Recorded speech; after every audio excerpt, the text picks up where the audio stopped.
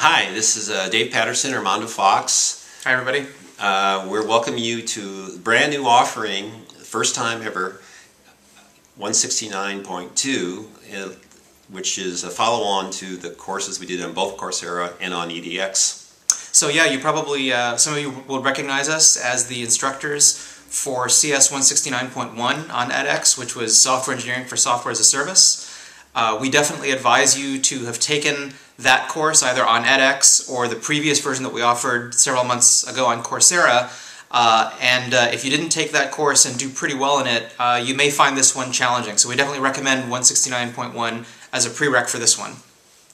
Uh, so in terms of topics, one of the topics covered in 169.2 is legacy code and how to deal with it and how to approach it. When we surveyed a lot of the Silicon Valley software companies that hire our students, this was their number one request on uh, what we should be, be doing a better job covering in a university course.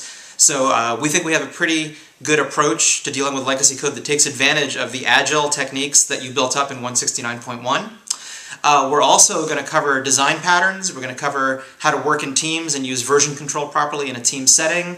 Uh, we're going to talk some about JavaScript and its relationship to the SaaS ecosystem. Uh, and we're going to talk about basic DevOps, so performance basics, security basics when you deploy onto Heroku.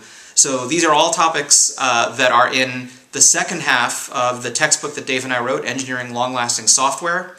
Uh, one thing we would point out is uh, we believe compared to part one of the course, which uh, was focused on Rails, BDD, and TDD, um, those are techniques that uh, there was a lot of existing literature out there and tutorials and things online that you could do uh, if you wanted to supplement the book or if you preferred not to get the book.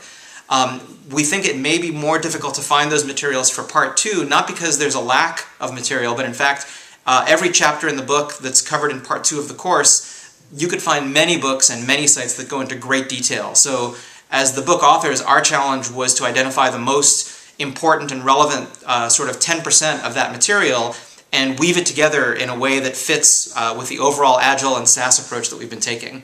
Uh, so you may want to uh, reconsider getting the book for part two if you haven't done that.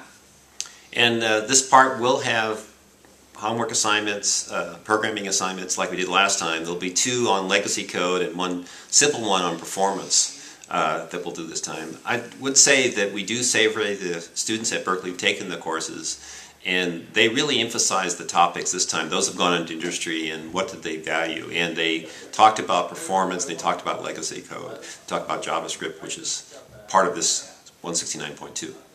Um, and the last thing that we want to remind people of is Compared to 169.1, this material is definitely uh, less mature and more fresh. Uh, in fact, some of the material you're going to be seeing is being presented in its current format for the first time at Berkeley just a couple of weeks before we put it on edX. So this course is going to be somewhat rougher around the edges. Uh, you can expect the material to improve uh, as we offer the course more and more times, but we just want people to be aware that this is the very first offering uh, we're doing of these topics. So uh, hopefully everybody will get something out of it and you'll give us suggestions on how to make it better, but this is an alpha offering, so thanks in advance for your patience. And I think that's it. That's we it uh, look forward to seeing a lot of you in the course and have a great time. Bye.